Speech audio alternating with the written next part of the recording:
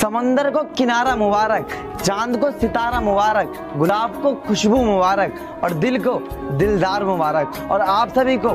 Eid Mubarak